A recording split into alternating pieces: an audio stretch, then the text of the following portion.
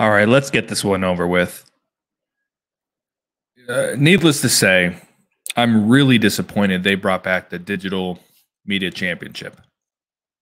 We'll get to the belt here in a second, but we're going to talk the actual DMC, as Kenny King called it, if you will. I am all for a mid card title. I was saying for quite a while, you know, before this title got introduced, there are too many people on this roster fighting for nothing. So when they eventually let us know there's going to be a new title coming, I was really excited because I said, you know what? They need another title. They've never really booked a mid card title very well in this company, but it's it's needed. Like as much as you want to say X Division, no limits, they say that when it's convenient, but it's not something they really push. It's a cruiserweight division. Okay. You have all these wrestlers because the top of the card was the same for a really long time. Josh Alexander, Sami Callihan, Rich Swann a little bit, Eddie Edwards. You know, they kind of had the same, you know, Moose, which we like Moose in the main event, but it just felt like it was the same kind of handful at the top. And then in the middle, it was just nothing. They're just fighting to fight. So the Digital Media Championship shows up, and universally people dislike the name. But they were trying to do something cutting, cutting edge and different, as they said.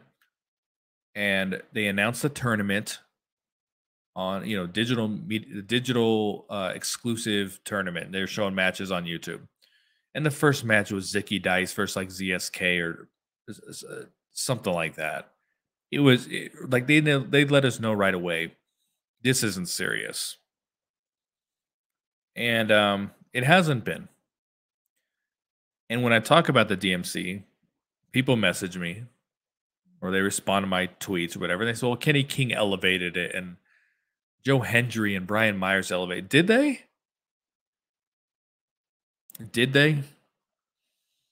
I think we enjoyed um, aspects of Brian Myers' title reign, of uh, of uh, Kenny King's title reign, and many people enjoyed aspects of Joe Hendry's title reign. Even though he's a really entertaining character, I, I thought it was a little. I thought his reign was a little bland personally. I'm not saying Joe Hendry is, but I didn't think he did anything for the title you know, and the only title match that, that they ever had where I think people really cared about the winner was uh when Brian Myers defended against Bhupinder. And I think people really wanted Boopy to win. But other than that, you know, no one's invested in this title. And the cutting edge that they talked about, digital media exclusive matches on different platforms and that that never happened and this title is going on two years of its existence, and Tommy Dreamer holds it right now. So digital media, which is probably geared towards a younger wrestler, a younger audience, you got your the oldest person on your roster holding it. Now the matches that were actually pretty good were the dot combat ma- matches. There weren't um you know, I'm not a big fan of uh hardcore. I've said that a thousand times, probably more. But there was something about the dot combat matches, even though there was like a little bit of a comedy aspect, like they kind of worked, you know? And there's so much they could do with this. Like we could be voting on who's in the matches, what kind of stipulations, you know, it could be so interactive. It could build, you know, they could do something no one else is doing and, and build angles like on Instagram, Instagram Live, and and stuff. There's just I I don't even care about the name of the title at this point. I just want it to matter and then to do something and then them to do what they said they were going to do. So here is the actual digital media championship. This is really really nice. I do commend them for wanting all the belts to look very different because if you look at all the angles and everything here, it is very different than the X Division Championship. It's better than the Tag Team Championship. Not better, I'm sorry, different. It is very different than those titles. But this does look very good. They were able to capture a little bit of the old title, you know, and then they updated it a little. So it is a, a beautiful title, uh, as they all have been so far.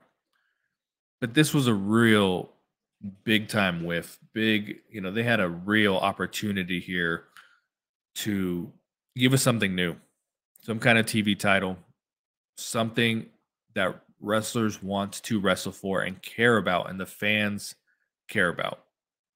Now, the uh, feedback on this title largely positive. I didn't really see anyone knock it. There was just you know the comments on the official Twitter saying just why change the name, please. You know, you can never take a title seriously called the Digital Media Championship. That's like the Zack Ryder Internet Championship. You know. But if you do something with it and do what you said you were going to do, maybe people will care a little bit. But the fact that this title did return, the name returned, just lets us know we're in, we're in it for the long haul with this belt. You know, like um, even the Grand Championship probably probably went on a year longer than it needed to. But when they had the opportunity to rebrand and make changes within the company, it was very easy for them to get rid of that title. And they had a golden, golden opportunity here so clearly they believe that this is going to be something, or maybe they have ideas for it. But this is a prop title at this point to me. This is a toy belt. I, you know how wrestlers travel with their belts on the independent scenes? I bet this title stays with the uh like the TNA equipment room. You know, I don't know. I, I wouldn't say a room. Like I, there's a there's a higher probability of Scott D'Amore travels with this title than Tommy Dreamer does. I just feel like it's it just has meant nothing. It is a prop to me. It's been a prop since day one. I'm open to having my mind change. I'm hoping them. I'm open to them blowing my mind and saying, "Yo, we we fucked this up. We screwed the pooch. This belt's been a complete goat rope." In 2024, we're gonna do the things we said we were gonna do. We're gonna do things other people aren't doing and make this title unique and different. It's not even defended on on YouTube. You know, like there's it's nothing. It's a normal belt, except it means nothing. So I'm not sure what's up, what belt is coming out today. I think it might be the Knockout Championship. Uh, I'm sure that's going to look really nice as everything is done. The belt maker said the world title was his favorite, so I know that one's that's going to be big time um, when that comes out. But the belt here itself, still a nice belt but golden opportunity squandered. You cannot get that back. And just, you know, buckle your freaking seatbelts because we're in it for the long haul at the Digital Media Championship.